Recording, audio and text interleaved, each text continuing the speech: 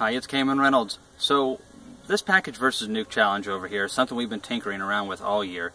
I just wanted to kind of get people up to date on where we're at and also we're going to look into this colony a little bit. Some of these colonies got different treatments. Some of these colonies would not be alive was not for certain things that we did in our videos. If you want to go to one of our playlists and watch some of the package versus nuc challenge videos from how we installed the nucs, how we installed the packages, how we added more space, how we fed them, how we treated them. Um, we got to most of it. We didn't get to all of it, but we got to a lot of different things. And we hit the, the major points, and that was the packages really struggled. Now, there's a lot of variables out there. We're going to touch this, so you know, buckle up and hang on tight, because we're going to go uh, on some rabbit trails here. Right, but we will get into that colony, I promise. So, initially, we installed these the first week of April three weeks before those nucleus colonies over there. Those were produced by us, just like what we sold to our customers, and they were five frames.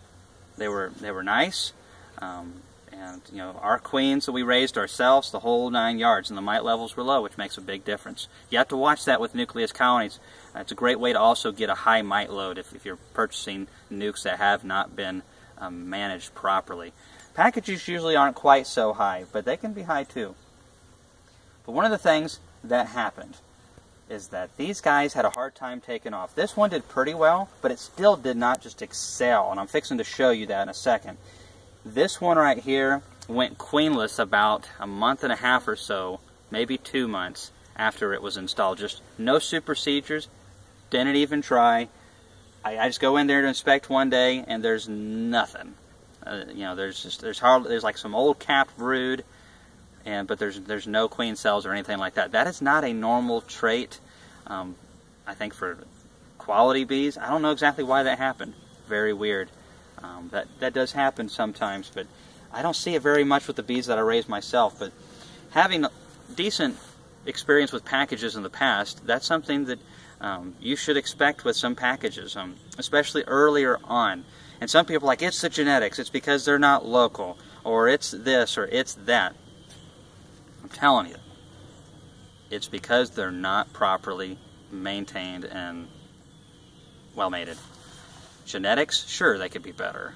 I've had some packaged queens that did pretty well, but overall, most of them don't do so hot. It's one thing you have to watch out for, and that's because they have a monstrous demand. The industry has so much demand on these early packages, and the commercial beekeepers are pushing the very beginning of the season. Unless the weather is just right and the conditions are just right, you end up with a lot of poorly mated queens. And, and I think some of the guys aren't uh, living to the standards that they should as far as, you know, that's a runty cell, queen cell. Don't be putting that in a nuc. You know, or that's that queen, she might not be all the way mated or not even mated at all and they're sending you a virgin. Um, it, it's a you know, fast-paced business, and I'm sure there's some businesses that keep their nose clean, but uh, I'm, I'm not really overall um, impressed with the com commercial package industry. I understand they have a lot of pressure and a lot of things they got to do as well, but um, ultimately, they don't have to worry about a whole lot of backlash either because the demand's so high. If the customer decides that they don't want to buy from them, they'll just go to another package supplier and, and, and do the runaround. And it's really hard on new beekeepers because, uh, you know, you're, you're not getting into this so your bees are going to perish every year. You see a lot of guys and gals get into beekeeping and they get their one package or two packages and they run into the issues that we have with these two, go back and watch those videos. If um, I'll, I'll, try to leave some links below. This one, the queen just would not grow the hive at all. She just had a terrible pattern. This one just went queenless. This one we're fixing to show you some more about, but if you've done a decent bit of packages, or if you're getting into beekeeping, and you decide to go with packages, then this is something that you can, you might see. I hope not, but you might see this, and, and this will help. We had to take multiple frames of brood from these over here. These nucleus colonies of ours, both of these were packed doubles at one point, and we were pulling frames of brood, and we did that in the videos, and we were putting them into these hives over here. Because what happens when your colony is really out of balance, when there's no brood or very few nurse bees, and especially in the dearth period in our summer, when there's not a lot of nutrition, you've got old bees, you've got uh, not a whole lot of nutrition coming in. The bees are stressed and they're old. It's hard for them to accept queens. So even if you get in one of these situations, you order a queen in from somebody, it could be the world's best queen. A lot of times the bees won't accept her And that's why we were pulling bees over here. And if it was not for those two nucs, these colonies right here would not be doing so good. Check this out. You know, that's not the world's greatest hive, but they're working on that mountain camp sugar and eating it away. That's a good cluster. They'll do good. But we had to give them one of our queens and a couple frames, at least two frames of good brood to this colony, and at least two to three to that one. Now this one we didn't give any brood to, but they just wouldn't build right. You know, these drew all of their foundations out into nice, beautiful comb. They also, I think as I pointed out earlier, they made two splits. These are great splits that we made. Let's check this one out real quick. Well, helps to pry it open. Well, it's winter time. Everything's a little harder to pry. Oh, there's, there's a good bit of bees down here. There, a bunch of them are up in the top already. You know, I'd say there's probably eight frames of bees in this, which is a decent sized cluster. Whew. And so, we have just been, you know, working our bees, and that's why we recommend you have more than one. It's also why we are so aggressively pushing sustainability. Learn how to just raise a couple queens a year. If you only want a few hives, you can do that. I really like the idea of having two or three main hives and then maintaining like two nucs behind it. One of your hives has an issue, maybe it goes completely queenless like that one does. Maybe you lose a swarm because you're on vacation or something. You take one of those nucs and you plug it right on in. There, there's a lot of things that can happen in beekeeping. And, and nobody indefinitely just has bees that do fantastic forever without work. Now, can you maintain the numbers that you have? If you're really proactive, I believe you can. But that's not because your hives just stay the way they are and just stay the way they are and stay the way they are. It's because you're putting in work and sometimes you're pulling frames of brood from this colony to this colony and you're helping the whole yard work together and that's, that's really the job of a beekeeper. We're bee stewards. We manage the bees. We give them the best chance of survival. Doesn't mean we'll always breed from that one that mm-hmm. has a lot of issues. But we are going to help them out and then requeen later. Alright, now check this out over here. We're going to get into this hive. Bees are a little antsy today.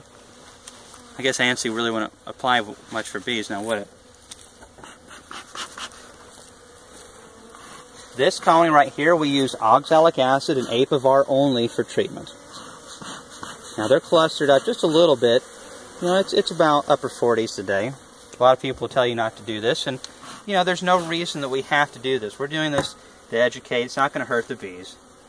Now, some people are also going to tell you, tell you don't ever pull a frame from the mill. You might roll the queen. I'm widening the space up before I pull it. I'm very careful. Still always need to be very cautious. Woo, look at those bees coming at me. Even after a little bit of smoke. It's not the time of the year. These bees are extremely gentle during a nectar flow, but they have work to do at that point. Right now, they're just like, this is the time of year, beekeeper, where you're supposed to leave us alone. You know, they're not really clustered that tight. Excuse me. Thank you. Let's see. Do we have any brood over there, Laura? Oops, I pinched one a little bit. Ew. Oh, wow. Okay, we do. We've done one oxalic acid vapor treatment. We got a little bit of capped brood. I wonder how much we got in here. I'm not going to pull everything apart. Woo, one just went up my shirt sleeve. Wow, okay, wow. Look at that brood over here. Pretty nice. I'm going to blow a little bit, but the bees aren't going to like it. Nope, not at all. So some of this is hatching out. I think I just saw a varroa mite, but I don't see it again. Yeah, there's some young stuff. Eggs down in here. That's great. We're not going to look through this anymore. I'm not seeing the queen, but I'm sure she's in there somewhere. I, I saw some eggs. Which, I mean, this time of the year, you don't need to be looking for your queen unless you just happen across her and you're a crazy person like myself. Now, again, if you're further south than me, you very well possibly should be getting into your hives and checking them out. These bees have plenty of food down here, but look at this upper box. Excuse me, bee. We didn't do anything as far as we installed the package, we fed this one, but we didn't pull frames of brood from this one, we didn't add frames of brood. But keep in mind, these two we requeened with our queens, and this one right here, just due to lack of performance, it was having such an issue drawing the combs. And check this out. This was the top box right here. And the bees oftentimes cluster down below and then work their way up in a double deep. But they just, they had a lot of combs like this. And we fed them hard. We fed them harder than the nucleus colonies. They were installed before them. This is problems with, I think, poor mating. Poor diversity in the hive, whether it's because the queen didn't get enough diversity in the, in the drone mating. Maybe it is a little bit of the genetics, but then again, I don't know. Uh, I've heard some of these, you know, breeder queens that they're using are supposed to be really nice. Either way, they were not working out. We requeen that colony. I bet it's going to be awesome this coming year. That's an older comb right there. Anyways, I just wanted to show you kind of what's going on. Let's just look at that right there. I think what we're going to do is we're going to take um, a, a, little roller and we're going to melt some beeswax. We'll show you how to do that. We're just going to melt it on here. We're going to put it back on. I really think now that we requeened late fall with our queen, this hive's really going to take off this spring and do well.